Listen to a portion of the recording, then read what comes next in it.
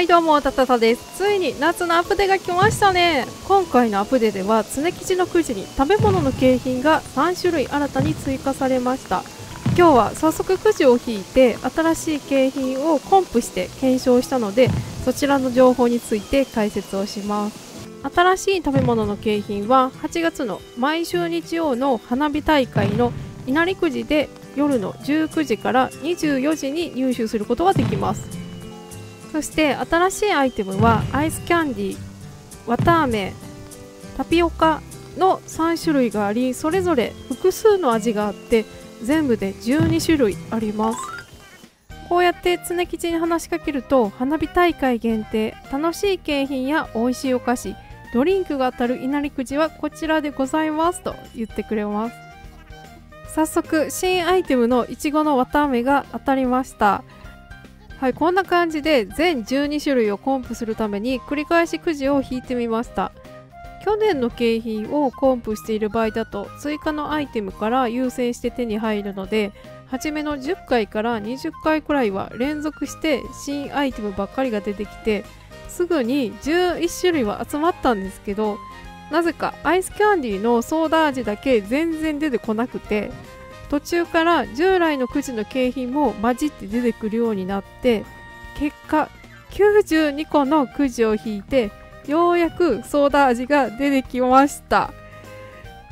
噂によるとすぐにコンプできる方もいるみたいなのでちょっと私の引きがね悪かっただけかもしれないです。はいでは全種類並べてご紹介します。稲荷くじの番号を左につけています。はい、アイスキャンディーは全部で3種類で、ソーダ、オレンジ、チョコがあります。綿あめは、綿あめ、メロン、ラムネ、いちごと4種類あります。タピオカは、タピオカティー、タピオカコーヒー、タピオカいちご、タピオカオレンジ、タピオカ抹茶と5種類あります。はいそしてアプデが待ちきれずにタピオカ屋さんのマイリザを昨日作ったんですけど惜しかったですね。抹茶といちごは合ってたんですけどオレンジとコーヒー味が作れてなかったんでこれをねまた追加して配布しようと思います。前回の動画でこちらのマイテザも紹介しているのでよかったらタピオカ屋さんを作って遊んでみてください。じゃあちょっと実際ね手に持ってみますね。こんな感じですね。これ私がなかなか出すことのできなかった。ソーダ味のアイスキャンディーです。こんな感じ。すごい美味しそうですよね。ちょっとソーダ味を食べるのはもったいないのでオレンジの味をねちょっと食べてみようと思います。あこんな感じ。あかわいいかわい。いパクパクなんかかわいいね。パクパク食べます。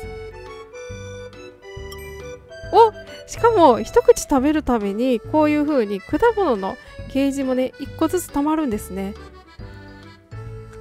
あ美味しそう美味しそう。お最後はパクパクパクっといきますね。すごい。これ1つで3つ分のゲージが溜まります。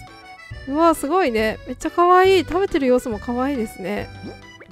次ちょっとね綿あめを持って綿あめはこんな感じです。もこもこした質感がめっちゃ可愛いですよね。ちょっとじゃあ綿あめも食べてみますね。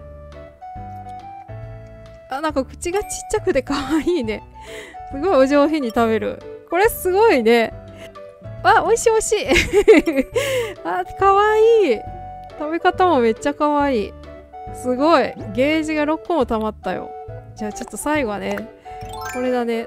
タピオカを飲んでみよう。タピオカめっちゃ可愛いですよね。こうやって持って歩いてたら。インスタ映え間違いなしですねこれ。インスタ更新しようこれ持ってね。はいじゃあちょっとねタピオカも飲んでみますね。あーかわい！えー、でおしゃれに飲むねタピオカね。最後グイッといきますよ。おー最後一気飲みした。すごいすごいすごい。これ3つで9個もゲージがたまる。すごいね。うわー、これちょっと、やばいな。めっちゃ可愛いですね。これね、綿菓子屋さん、アイスキャンディー屋さん、タピオカ屋さん、全部作らないといけないよね。これめっちゃ楽しいね。ちょっと、いやーもうこれなかなかの紙アップデですね。いやこの8月はね、めちゃくちゃ楽しく。ちょっと、たもつくん ちょっと待って。たもつくん、燃やさないで。ちょっと、たもつくんっとどんな嫌がらせよ。どんな嫌がらせちょっとほらほらやめてよ。あーちょっとね今年の景品はなかなかおしゃれな食べ物のアイテムがいっぱいでちょっと島クリエイトとかめちゃくちゃ楽しそうな夏になりそうな気がしました。